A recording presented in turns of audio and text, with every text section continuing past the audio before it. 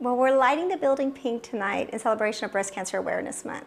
It also correlates with the grand opening of our new breast center, which has been a dream and a vision of our hospital and our medical director to provide an environment that encourages women to come in, have their screening mammogram, and promote early detection. Our breast center provides two digital mammography systems. We have the capabilities to do stereotactic biopsies, ultrasound guided biopsies, MRI guided biopsies. One of the key features that we brought into our breast center is additional ultrasound capabilities. And what this means to, to us as women is there's 20% of cancers that go undetected by simple screening mammograms because of dense breasts. Dense breast is exactly how it sounds. It's breast tissue that's thicker and denser than traditional tissue, and radiation alone cannot image it completely.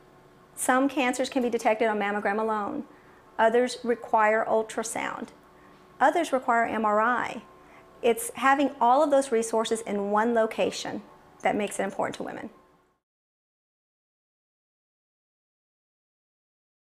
What a breast care navigator provides our patients is a realistic approach to what is actually happening. The medical terminologies, the type of tests that we do can be very scary at times, especially when you're going through that care continuum. Having a navigator that guides you through, talks your language, explains things in detail, is there for you to answer questions for you, for your family, as you go through that diagnostic process. That's what the resource that navigator provides us.